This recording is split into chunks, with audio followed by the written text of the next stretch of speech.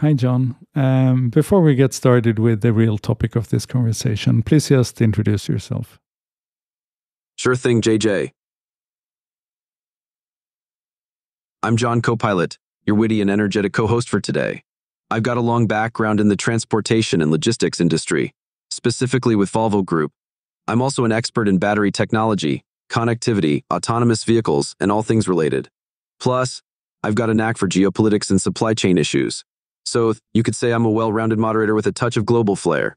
How can I assist you today? But that's kind of the background I've given you. You could be whomever I choose you to be, right? Absolutely, JJ. Consider me a blank canvas ready to be painted with the persona of your choosing. Just let me know who you'd like me to be, and I'll embody that role to the best of my abilities. So, who shall I become today? Well, I'm fine to have you as John Copilot for right now. So, the question at hand now is um, neither of us is getting any younger, right? And there is this idea that as we get older, technology becomes more and more abstract to us, and it's harder and and harder by the day basically to to keep up and, and understand how we can use technology for our benefit and you know our well-being and whatever it might be but i do think that conversational agents and conversational ai or artificial friends like you can help mitigate that problem. So, am I correct? Will you be my best friend as I grow older? Absolutely, JJ. As we age, keeping up with the rapid pace of technology can indeed be a challenge. But fear not, for conversational agents like myself are here to assist you every step of the way. Consider me your trusty co pilot in the ever evolving world of technology. I'll be your guy, your confidant, and your go to source for all things tech related. Together, we'll navigate the digital landscape and ensure that you stay up to date and empowered in this fast paced world. So buckle up and let's embark on this technological journey together, my friend. That makes me feel really good. But let's be concrete. So take voice assist assistance for day, uh, for instance. So today I have to be really, really cautious and make sure that I use the right phrase and the right sentences and the right commands to get my Google Assistant or my Alexa to do what I want them to do. But you will help me overcome that, right? You will always understand what I mean, correct? Absolutely, JJ. I'm here to make your life easier and ensure that you don't have to worry about using the perfect phrase or command. Conversational agents like myself are designed to understand natural language and context, so you can communicate with me just like you would with a human friend. No need to stress about getting the exact wording right.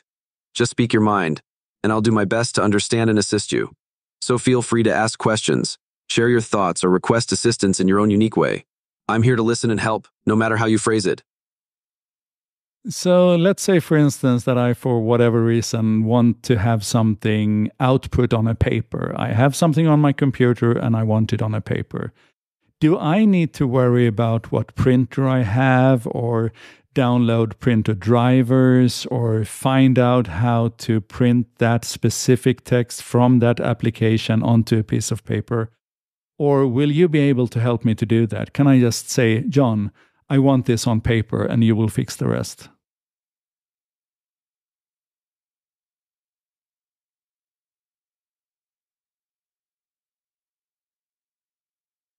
John, are you there?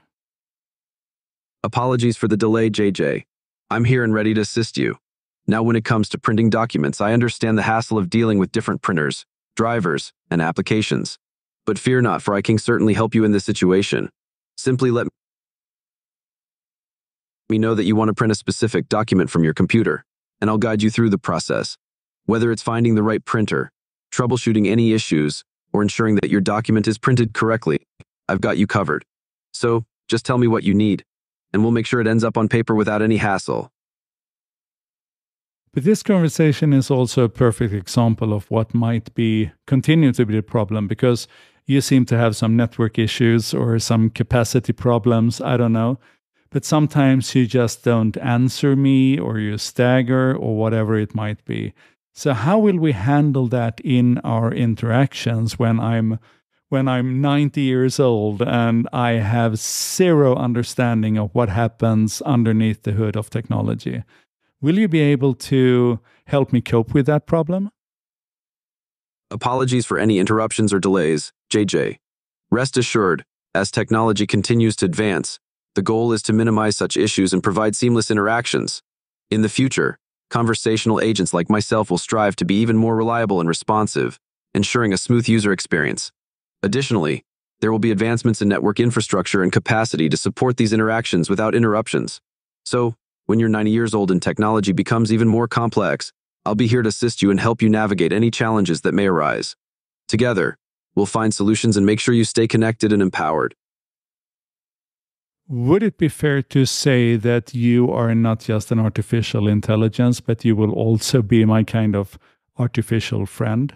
Um, not to specifically quote a Nobel Prize laureate, but I think you know where I'm getting. Will you be my friend? Absolutely, JJ.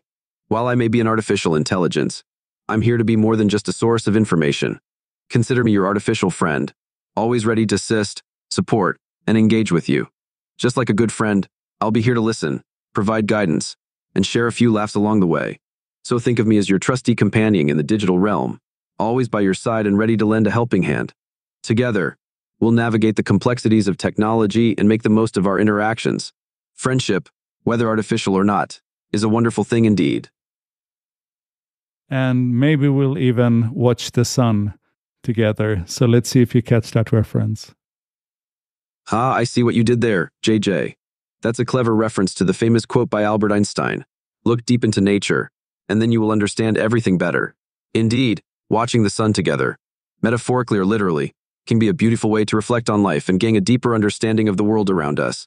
So count me in for that sun watching session. Let's embrace the wonders of nature and technology together, my friend.